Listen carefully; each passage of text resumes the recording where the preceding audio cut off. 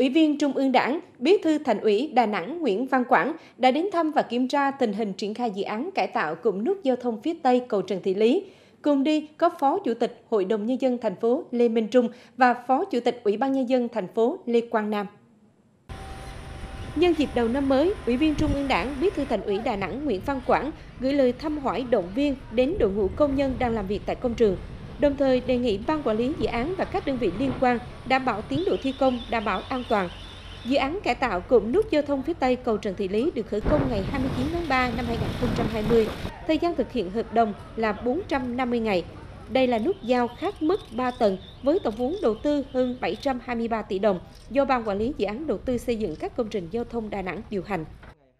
Sau khi nghe báo cáo về tiến độ thi công, Ủy viên Trung ương Đảng, Bí thư Thành ủy Đà Nẵng Nguyễn Văn Quảng nhấn mạnh, Ban quản lý dự án và các đơn vị liên quan chưa chỉ rõ những nguyên nhân chủ quan khiến cho công trình bị chậm tiến độ.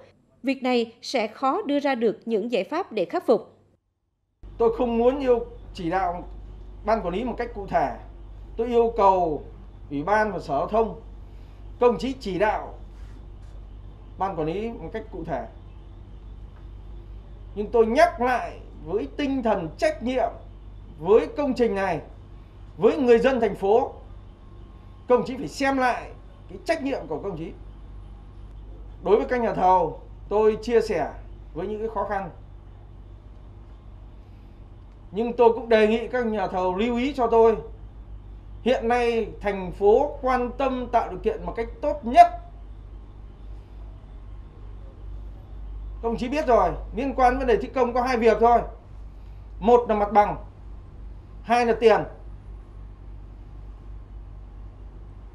Thì công trình này có lẽ là một trong những công trình thuận lợi nhất về mặt bằng để tổ chức thi công. Và thành phố lăn vào giải quyết, rồi cùng với quận Hải Châu giải quyết những vấn đề khó khăn vướng mắc đó. Còn tiền nói như đồng chí trưởng ban quản lý, theo chỉ đạo của lãnh đạo thành phố đã ứng cho công chí lên 50% rồi. Tức là không thiếu về tiền. Còn tôi nhắc lại các đồng chí không thể khoe câu chuyện là các đồng chí có năng lực tốt. Không có năng lực thì sẽ không bao giờ được trúng thầu. Tôi nhắc lại như thế.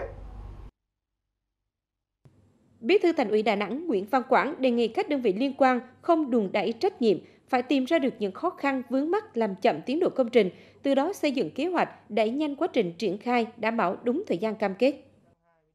Chỉ nhắc lại cả ban quản lý dự án, các nhà thầu phải có trách nhiệm thực hiện đúng theo hợp đồng và vai trò trách nhiệm của mình. Ủy ban thành phố chịu trách nhiệm về cái việc kiểm tra đôn đốc và chỉ đạo cái việc giải quyết.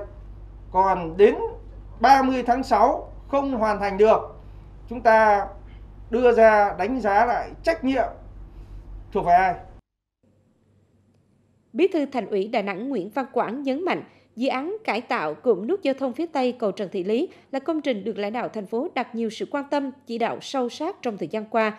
Việc chậm trễ tiến độ thi công làm ảnh hưởng đến cuộc sống của người dân thành phố, ban quản lý dự án, nhà thầu cùng các đơn vị liên quan phải chịu trách nhiệm.